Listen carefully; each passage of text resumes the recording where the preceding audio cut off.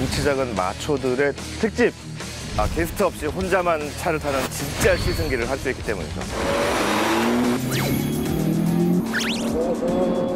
아무리 봐도 변태 같아. 저분이에요, 저분 변태. 위험에 처하게 하려고 그러고 무리하게 얘기하고 말이죠.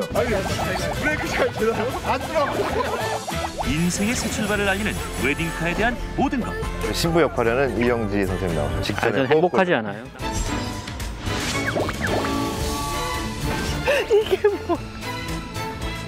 어, 좋네. 결혼을 안 하는 거. 안 하는 게 낫다. 매주 목요일 밤 12시 40분 채널 고정